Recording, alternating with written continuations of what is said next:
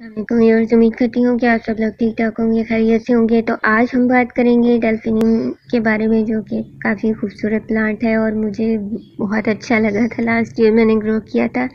तो इसकी जीनस है जी अबाउट ये जीनस है about three hundred species of perennial flowering plant की और नेटिव है थ्रू आउट नॉर्दर्न हेम्पशर और high tropical mountain areas of Africa का और जो इसको सबसे पहले जिसने सेलेक्ट किया था मतलब उस का नाम है कॉल लिनेनियस और फैमिली है इसकी रेनोक्लेस और रेनोक्लेसियस और सब फैमिली भी इसकी रेनोक्लेडेसियस ही है। ट्राइब भी इसका डेल्फिनियम है और जीनस भी इसकी डेल्फिनियम है। पॉइजनस है या नहीं, जी, ये लाइफ स्टॉक और ह्यूमन दोनों के लिए टॉक्सिक है तो अपने पेट्स को इनसे दूर रखिए और ख़ुद भी इसको कंज्यूम मत कीजिएगा।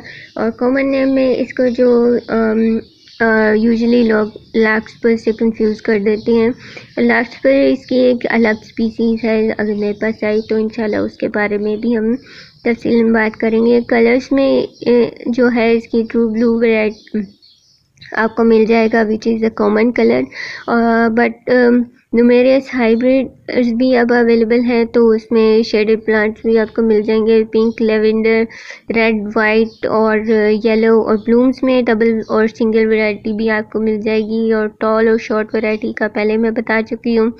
और मेरे पास जो ये है, वो पॉट के लिए हमेशा आप शॉर्ट वैरायटी जो है ड्रॉफ वैरायटी वो सिलेक्ट करें। टॉल वैरायटी को जो है ग्रो होने के लिए ज़रा खुली जगह चाहिए होती है। और वो थोड़ी टॉल भी होती है थोड़ी नहीं काफ़ी टॉल होती है।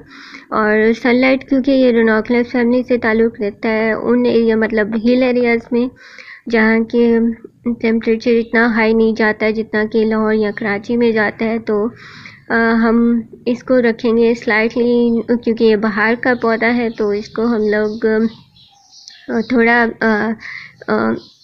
शेडेड मतलब जहाँ पे धूप, हल्की सी धूप छाँव वाली जगह हो, वहाँ पे आप इसको रखेंगे।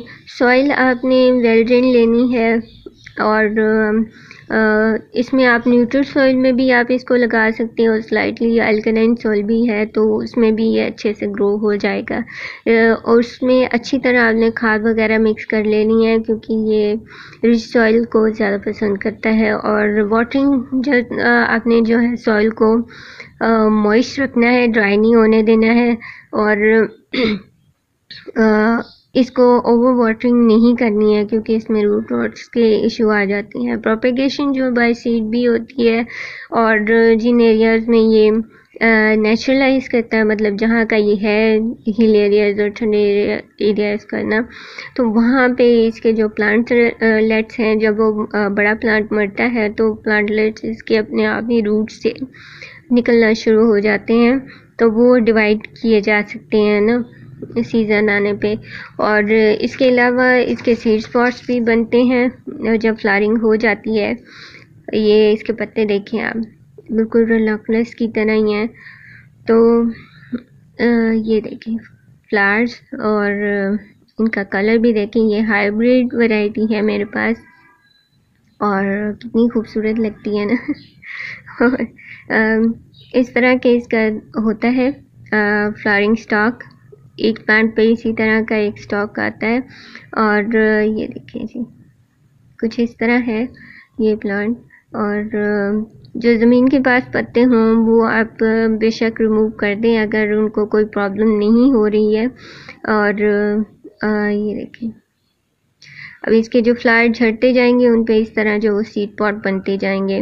अब सीड से जो प्रोपगेशन है वो काफ़ी टाइम लेती है। आप आ, अर्ली फॉल में आप इसके सीड लगा दें या लेट फॉल में इसके सीड्स लगा दें। बाहर इसका ग्रोइंग सीज़न है तो उसमें जो है फ्लारिंग सीज़न है और आ, मतलब आप लेट फॉल में लगाएँगे तो अर्ली फॉल तक जो इसके जो प्लांट्स है वो ग्रो होना शुरू हो जाएँगे और बाहर तक वो इतने बड़े हो जाएँगे कि वो फ्लारिंग करना स्टार्ट कर दें। अच्छा टेल्फिनियम के सीड्स लगाएँ तो आप फिर उन्हें एक किस्म का भूल ही जाएँ क्योंकि ये maximum twenty two twenty eight days वो ले जाते हैं। मतलब इससे ज़्यादा भी ले जाते हैं। मतलब एक महीने से ज़्यादा दो महीने तक ये सीड्स वैसे ही पड़े रहते हैं और फिर ग्रो होना शुरू होते हैं। बस आप टैग लगा दें उस जगह पे और भूल जाएँ। और, जब उनका टाइम होगा वो खुद ही ग्रो हो जाएँगे। और मैंने भी सेव किए थे, लेकिन हमारे यहाँ मास्क मास्क का प्रॉब्लम हो गया। तो मेरे काफ़ी सारे सीड इंक्लूडिंग डेल्फिनियम के और कैक्टस के वो ले गए, अपने खा पी गए ना? तो अब इसकी बात करें डिज़ीज़ की तो डिज़ीज़ में जो है वो ग्रे मोल्ड है रूट रॉट है रस्ट है और और पाउडरी मिल्डू है बैक्टीरियल क्राउन रॉट है स्टेम रॉट है और पेस्ट में है इसके सब्सटेंस सबसे पहले एफर्ट्स साइक्लोमैन माइट है लीफ हॉपर्स हैं लीफ माइनर्स है स्टॉक बोरर है। तो कंटेनर के लिए हमेशा फिर से दोबारा कहूँगी टॉप वैरायटी चूज़ कीजिएगा। इन्फॉर्मेशन अच्छी लगी हो तो लाइक और शेयर ज़रूर कीजिएगा। अपना ख्याल रखिएगा दुआ में याद रखिएगा। Happy gardening